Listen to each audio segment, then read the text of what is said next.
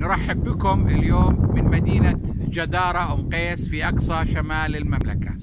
الحقيقة إحنا اليوم في هذه المدينة الخالدة مدينة الفلاسفة والأدباء والعظماء.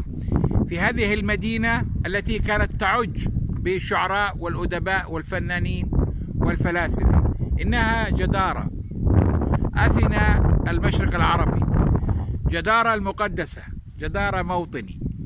هذه المدينة الخالدة بأبنائها وآثارها وروعتها لا أخال مكانا في المشرق العربي يضاهي جمالها بحيث أن جمالها يشرف على كل حدود الوطن من القلب إلى القلب ومن الروح إلى الروح ومن العقل إلى العقل.